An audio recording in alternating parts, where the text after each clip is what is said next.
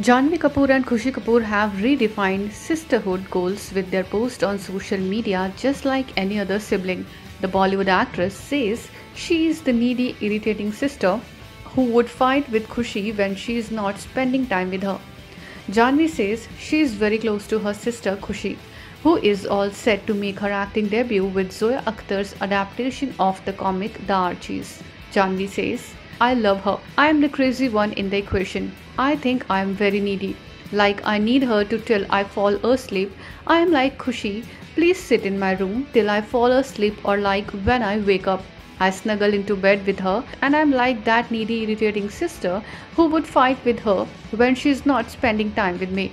I remember it was my last night before the shoot and I forgot to tell her.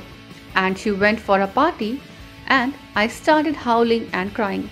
I made a big scene and she had to leave the party and come, said the actress whose latest release is Mili. Janhvi and Khushi are daughters of late Sridevi and Boney Kapoor.